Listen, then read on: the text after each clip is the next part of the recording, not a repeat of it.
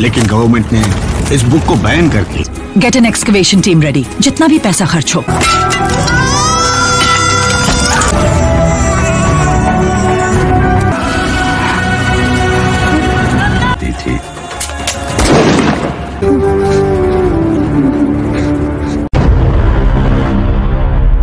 Berlatar di India, tepatnya di kota Bombay, menceritakan sebuah kekejaman yang berakhir sangat mengharukan. Seluruh korban dari mafia yang bersekongkol dengan pemerintah kotor harus berhenti sepak terjangnya di tangan sang pahlawan.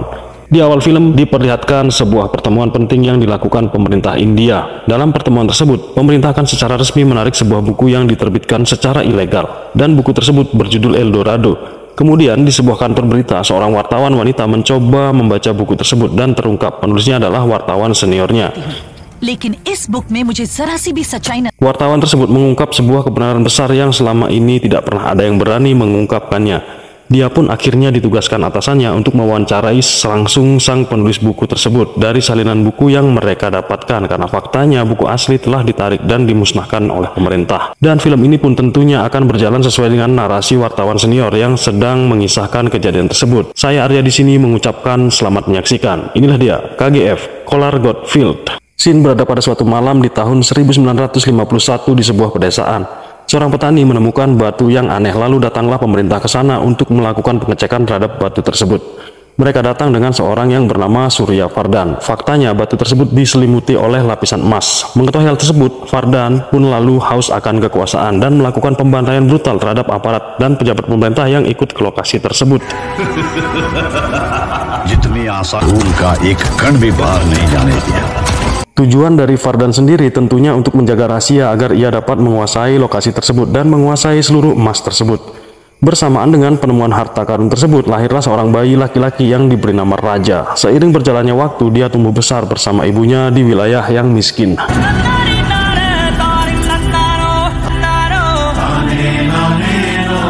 Di sisi lain, Fardan sekarang menguasai tambang emas tersebut dengan dalih sebagai tambang kapur yang telah dia sewa ratusan tahun. Ratusan penjaga dia kerahkan untuk menjaga tambang tersebut dan menjadi ribuan orang sebagai pekerja paksa. Tahun 1961, raja yang berusia 10 tahun tidak bisa menyelamatkan ibunya yang sedang sakit karena uang yang dia kumpulkan tentu tidak cukup untuk mengobati sang ibu.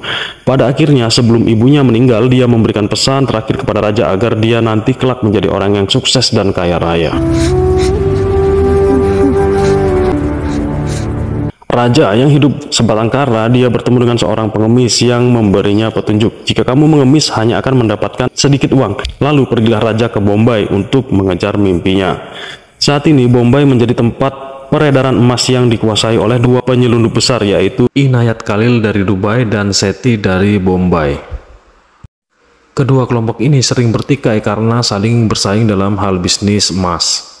Shin menuju ke raja yang memulai hidupnya di Bombay, menjadi seorang penyemir sepatu dan bekerja sama dengan anak-anak lain kepada seorang bos. Suatu hari bosnya mengumpulkan mereka dan bertanya kepada mereka, siapakah yang berani memukul seorang polisi. Di sana, raja mengangkat tangannya dan menunjukkan keberaniannya. Dia kemudian melakukan aksi barbar dengan mengambil sebuah botol dan memukul kepala polisi botak, lalu berlari kabur bersama teman-temannya. Dia tiba-tiba berhenti dan kembali ke polisi tersebut dan mengatakan bahwa namanya adalah Rocky. Raja dengan sengaja melakukan itu agar dirinya dapat bertemu dengan sang bos besar yang bernama Seti. Tahun 1978, Fardan semakin menunjukkan kekuasaannya di KGF-nya. Setelah Amerika dan Uni Soviet berseteru, harga emas semakin melonjak. Fardan untuk membantu mengelola tambang emasnya dia dibantu oleh lima orang sebagai mitranya. Orang-orang ini adalah Kamal, dia adalah orang yang menjalankan bisnis tambangnya. Lalu ada Rajendra, dia adalah yang mendistribusikan emas tersebut. Dan ketiga adalah Andrew, dia adalah penguasa di bagian utara. Mereka juga memasang spion di pemerintahan. Dia adalah Gurvandian, sesosok pejabat korup setingkat menteri yang berperan untuk meloloskan jalan birokrasi. Lanjut, pada suatu hari Fardan terkena serangan stroke yang membuatnya hanya bisa berada dalam tempat tidur. Fardan memutuskan adik-adiknya untuk menjalankan KGF, namun Garuda tidak menerima hal tersebut karena sebuah perseteruan dan akhirnya Adira menghilang entah ke mana.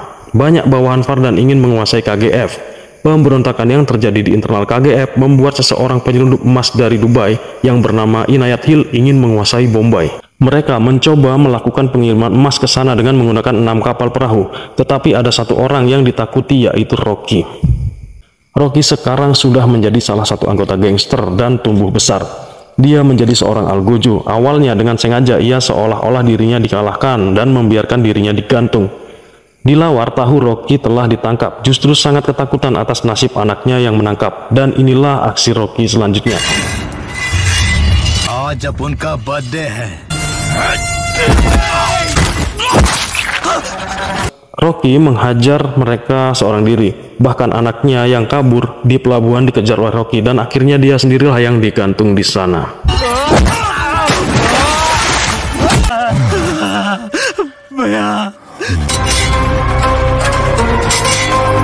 Lalu rombongan kapal perahu yang akan menuju Bombay berputar balik karena ketakutan.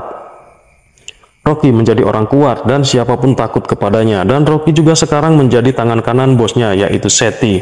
Sampai di suatu hari bosnya mendengar Rocky lebih ditakuti daripada dirinya. Lalu dia memutuskan akan menyingkirkan Rocky dari Bombay. Datanglah rekanan Seti yaitu Andrew, penguasa wilayah barat yang merupakan mitra dari Fardan. Kemudian Andrew yang sudah mendengar dari sepak terjang Rocky menugaskan dirinya untuk menjalankan sebuah misi di Bangalore dan jika misi berhasil Rocky akan diberi kekuasaan di Bombay untuk menggantikan Seti. Karena hal itu Seti pun berbalik ketakutan kepada Rocky.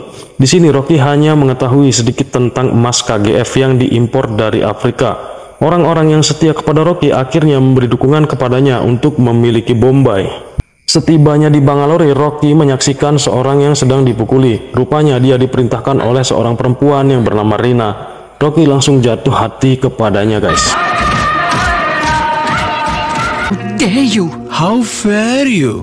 Kadek. Melihat hal itu, para pengawalnya langsung menyerang Rocky, namun dengan mudah Rocky dapat mengalahkan mereka semua. Rina ternyata bukan wanita sembarangan guys, dia adalah anak dari Rajendra yang merupakan mitra dari Fardan yang bertugas mendistribusikan emas. Di markas Andrew, Rocky ditugaskan untuk membunuh Garuda yang merupakan anak buah Fardan. Rupanya ini rencana mereka untuk menguasai KGF. रास्ते में उसे खत्म करना होगा Rocky yang baru sampai tidak mengetahui apa misi yang mereka akan lakukan. Rocky pun tidak mengetahui siapa itu Garuda. Dalam perencanaan awal, Rocky diharuskan membunuhnya di jalan ketika dia akan mendatangi sebuah acara besar. Bahkan ketika Rocky meminta fotonya, dia pun hanya mengatakan ketika semua orang berkumpul di sana, maka kau akan mengetahui yang mana yang bernama Garuda. Kamal lalu mendatangi Rina dan berjanji akan menangkap orang yang memukuli anak buahnya. Di sini Andrew tidak memberitahukan kepada Kamal bahwa Rocky adalah bagian dari mereka yang ditugaskan untuk menjadi eksekutor dari Garuda. Kamal lalu mengarahkan seluruh anak buahnya untuk mencari Rocky. Sampai di suatu hotel, Rina ikut bersama para pengawalnya mencari Rocky dan setiap kamar mereka pun cek satu persatu hingga di suatu kamar Rocky malah menariknya dan hampir saja celepot guys. कि दारू पीती है अपन को मारने के लिए Rocky lalu menghajar semua pengawalnya, bahkan supir pun dihajar Rocky agar ia bisa mengantarkan Rina untuk pulang. Dalam perjalanan, Rocky berusaha merayunya hingga di suatu jalan, Rocky melihat seorang ibu menggendong anak, lalu roti yang dibawanya pun terjatuh. Di tengah jalan, Rocky yang teringat ibunya kemudian dengan sengaja menghentikan mobilnya di tengah jalan untuk menghalangi mobil lain agar si ibu tersebut dapat mengambil roti yang terjatuh. Orang-orang yang melihat itu berteriak kepadanya, lalu sebuah pistol dia keluarkan dan membuat semua orang ketar-ketir. Rocky lalu turun dari mobilnya dan mengambil roti itu dan diberikannya kepada sang ibu. Setelah memberikan roti itu, Rocky pun berkata, tidak ada pasukan di semesta ini yang lebih kuat dibandingkan seorang ibu guys. Setelah melanjutkan perjalanannya, puluhan polisi menghentikan mobil di sana karena puluhan truk akan membawa emas untuk melintas. Melihat hal tersebut, Rocky bergegas menaiki truk tersebut tanpa diketahui oleh Rina. Rocky bertujuan untuk mencari tahu dari mana emas itu berasal, sehingga sampai di sebuah gudang, dia menghabisi penjaga di sana, lalu membuka kotak tersebut dan masih belum bisa menemukan jawabannya. Pemilu lalu dilakukan. Di sini guru Fardian kembali terpilih lalu di sebuah tempat hiburan Rocky kembali bertemu dengan Rina dan para pengawalnya. Kali ini mereka bersenjata, tetapi Rocky tetap tidak kabur.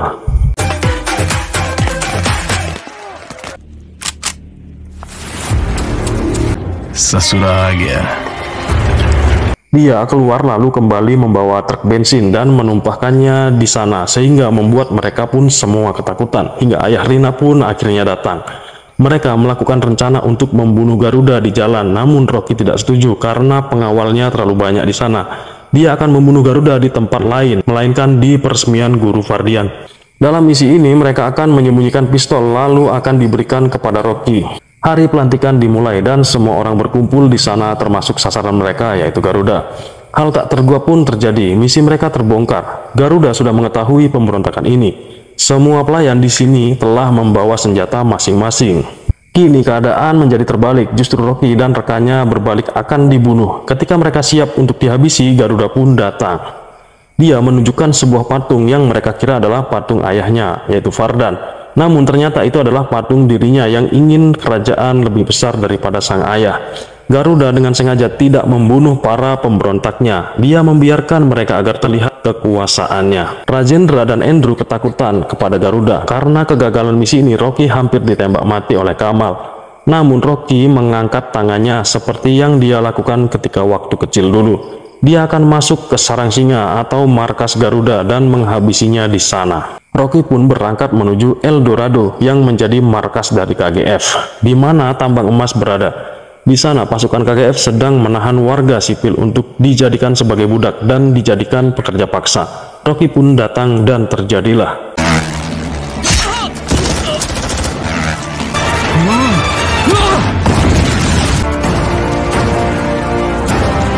Setelah berhasil membunuh pasukan di sana, Rocky masuk ke dalam truk dan menyamar menjadi tahanan.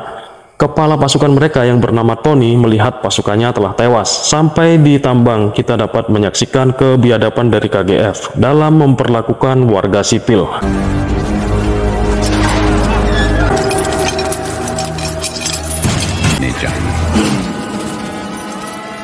Setiap orang yang masuk ke tambang, ia akan diperiksa. Bagi mereka yang menjadi budak, maka akan dicap dengan besi panas. Panglima mereka bernama Vanaram. Hari pertama di sana Rocky menyaksikan istana yang dimiliki oleh Garuda. Bersama dengan pekerja lain, Rocky menuju 900 meter di bawah tanah dan ledakan pun terjadi.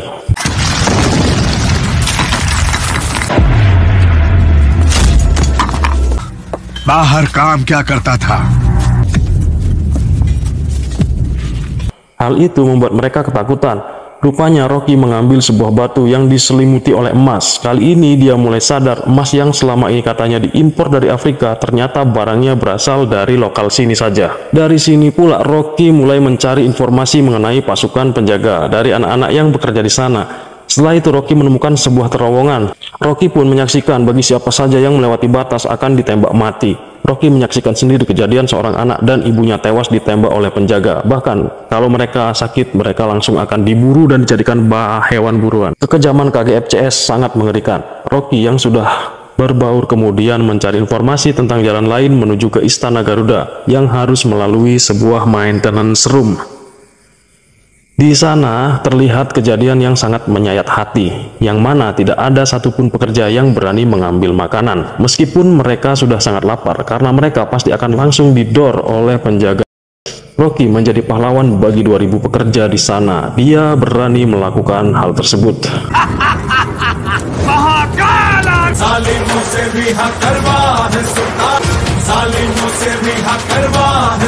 Setelah mendapatkan jadwal untuk bekerja di maintenance room, dia mengambil peta jalur menuju Istana Garuda di KGF. Andrew dan tim lainnya di KGF terkejut dengan kejadian yang belum pernah terjadi selama ini. Vanaram kemudian mengumpulkan seluruh pekerja lalu mengancam semua pekerja tersebut bahwa ia semua akan dibunuh jika tidak ada yang mengaku membuat kekacauan tersebut. Rocky yang tidak bisa melakukan apa-apa karena kalau dia membocorkan hal tersebut maka misinya kali ini akan gagal. Tiba-tiba ada seorang pekerja yang mengaku dan mengorbankan dirinya demi melindungi istrinya dan melindungi yang lain yang sedang berada di sana guys.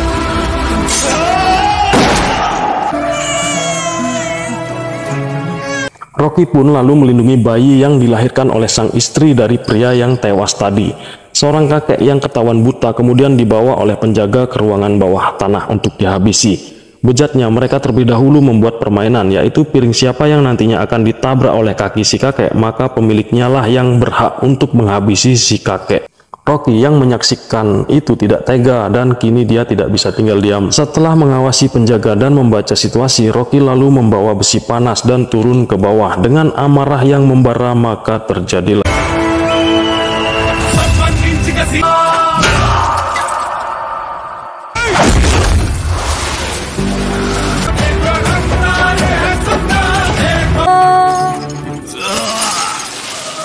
Rocky menghabisi penjaga yang dikenal kejam lalu menyeret jasadnya ke depan ribuan pekerja. Rocky menyuruh para pekerja membakar mayat itu agar semua pekerja timbul semangat untuk melawan mereka semua. Garuda yang mendengar hal itu pun marah besar dan mengancam akan membakar semua pekerja karena anak buahnya mereka bakar. Sebelum melakukan pembunuhan besar-besaran, Garuda melaksanakan sebuah ritual khusus yaitu menyembelih tiga anak buahnya sebagai tumbal. Garuda pun dijaga ketat oleh seluruh pasukannya untuk menghadapi Rocky, sementara Rocky hanya seorang diri. Akhirnya seluruh pekerja di sana pun bergabung membantu Rocky dan misi Rocky pun dimulai. Sebelumnya ia memutus seluruh aliran listrik agar bisa masuk ke istana Garuda. Seluruh penjaga pun mencarinya. Di sisi lain Garuda sedang melakukan penumbalan tiga orang anak buahnya. Namun sebelum ditumbalkan mereka terlebih dahulu dicelupkan ke dalam air. Saat tumbal ketiga dicelupkan ke dalam air, Garuda terkejut karena tumbalnya menghilang. Lalu tiba-tiba...